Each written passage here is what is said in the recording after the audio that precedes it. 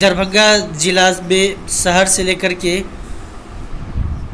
जो ग्रामीण इलाका टिरही पुल तक नाला निर्माण होना है।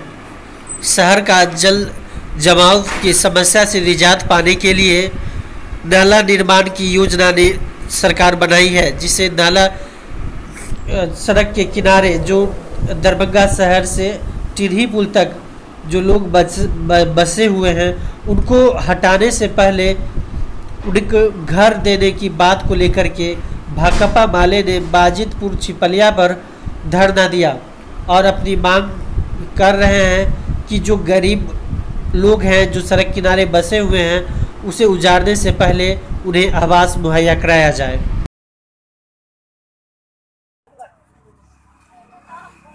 किन मांगों को लेकर के आप लोग अनिश्चितकालीन धरना पर बैठे हुए हैं? हम लोग यहाँ सड़क काट का जितना गरीब गुरबा है, बेभूमि है, उसका ज़मीन नहीं है, वो घर बना करके यहाँ रह रहे हैं बरसों से। हम लोग सीओ से मांग करते हैं, उनकी मांग की प्रयास करते हैं, उनसे गुजारिश करते हैं कि नाला बना रहे से पहले गरीब को पहले विकल्प की व्यवस्था कर दिया जाए और उसके बाद उनकी घर की उजाड़ा जाए। नहीं तो हम लोग अनिश्चित काले धरना पर बैठे हुए हैं और बैठेंगे। जब तक वो हम लोग का मांग पूरा नहीं करेगा जब तक ज़मीन यहाँ देगा नहीं घर बना करके तब तक यहाँ से हम लोग हटेंगे नहीं।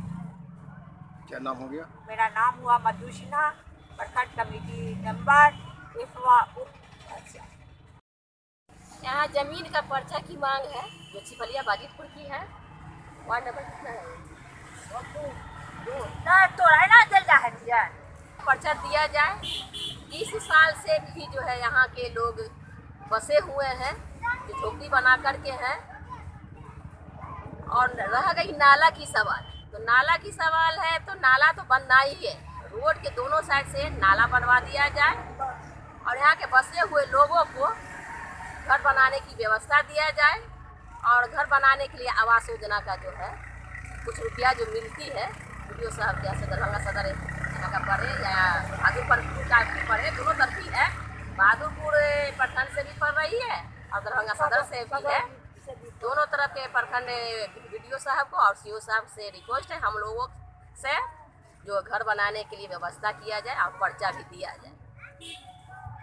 हम भाकपा वाले कोषाध्यक्ष।